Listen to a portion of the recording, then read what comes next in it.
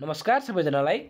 आज हामी bachelor in civil इन्जिनियरिङको थर्ड सेमको पूर्वाञ्चल युनिभर्सिटीको सिलेबस अनुसारको आज हामी चाहिँ युनिट एटमा रहेको थिन वर्ल्ड प्रेसर भेसल भन्ने एउटा लेसनको आज हामी टाइप्स टूको निमिरिकल गर्न गइरहेका छौँ।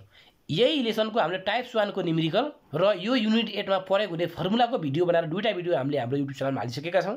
हाम्रो अघिल्लो भिडियोहरू हेर्नुभएको छैन भने कृपया हाम्रो च्यानल भिजिट गरेर हाम्रो अघिल्लो भिडियोहरू हेर्न सक्नुहुन्छ।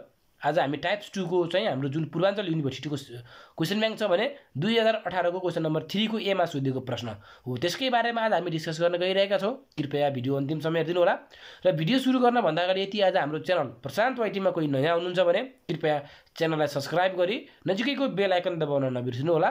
साथै हामीसँग सोसियल मिडियामा जोडिन चाहनुहुन्छ भने डिस्क्रिप्सन बक्समा लिङ्क राखिएको छ फेसबुक इन्स्टाग्रामको। त्यहाँबाट हामीलाई फलो गरेर नजानेका प्रश्नहरू सोध्न पनि सक्नुहुन्छ। ल सुरु गरौँ है त। क्वेसनले के भनेको छ भन्दाखेरि a cylindrical boiler of three point five metre external diameter भनेपछि बाहिरको डायमिटर दियो। भनेको क्यापिटल डी दियो तर हामीलाई चाहिने चाहिँ इन्टरनल डायमिटर हो। साथसाथै हामीलाई के दियो अर्को? थिकनेस पनि दियो। एक्सटर्नल डायमिटर पनि दियो थिकनेस पनि दियो।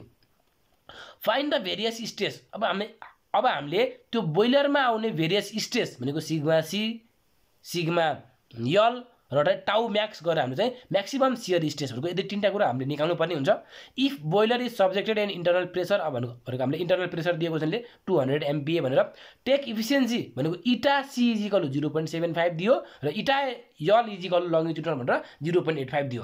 क्वेसनले के भन् भनेको हामीले एक्सटर्नल डायमिटर हो थ्री पोइन्ट फाइभ मिटर त्यसलाई हामीले एमएममा कन्भर्ट गरेँ थिकनेस हामीलाई क्वेसनले के भन्छ?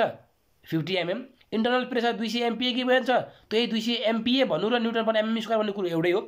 Efficiency of longitudinal joints eta L हामीलाई गिभन छ efficiency of circumferential joints eta C हामीलाई गिभन छ इन्टरनल डायमिटर स्मल डी अब कसरी आयो यो फर्मुला भन्ने एउटा हजुरलाई ध्यान नहोला। म सिकाउँछु कसरी आयो है त। ल हेरौँ।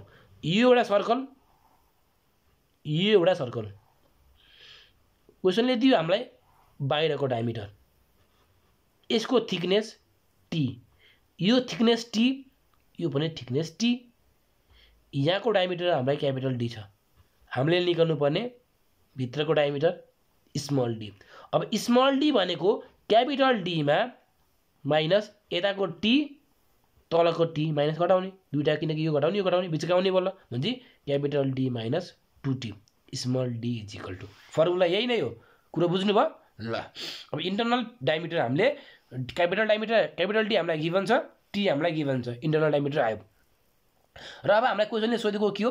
स भेरियस स्ट्रेस अब भेरियस स्ट्रेस भनेपछि हामीले सुरुमा निकाल्छौँ सर्कुम्फ्रेन्सियल स्ट्रेस र सर्कुम्फ्रेन्सियल स्ट्रेस भनेको सिग्मा सी भनेको के हो? PD upon two T eta L है त? इटा एल हामीलाई गिभन छ। हो कि होइन हेर्नुहरूले यहाँ माथि गिभन हेर्न सक् सक्नुहुन्छ। थिकनेस हामीलाई गिभन छ। इन्टरनल प्रेसर हामीलाई गिभन छ। डी डायमिटर हामीलाई के भन्छ? डायमिटर फेरि पैँतिस सय राख्ने होइन नि फेरि? अब चौतिस सय राख्नु पऱ्यो। इन्टरनल डायमिटर फर्मुला छ भ्यालु राख्ने एन्सर निकाल्ने। सिग्मा सी आयो। अब सर्कुम्फ्रेन्सियल स्टेज त आयो। अब निकाल्नु पऱ्यो longitudinal stress long longitudinal stress निकाल्नको लागि सिग्मा यल जुन भनेको के हो?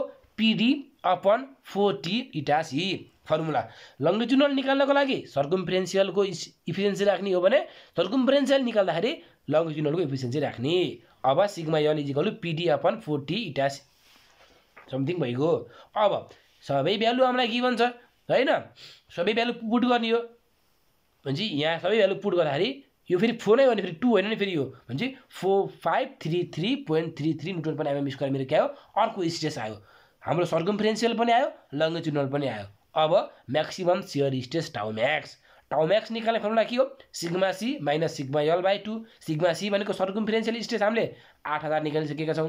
माइनस सिग्मा यल हामीले भर्खर निकालिसकेका छौँ डिभाइड बाई टू यहाँबाट मेरो म्याक्सिमम् सियर स्टेज कति आयो? One seven three three point three three five newton per MM square भनेको के आयो मेरो म्याक्सिमम् सियर स्टेज आयो। यति गरिसकेपछि यो टाइप्स टूको निम्रिकल पनि सकिसकेको छ।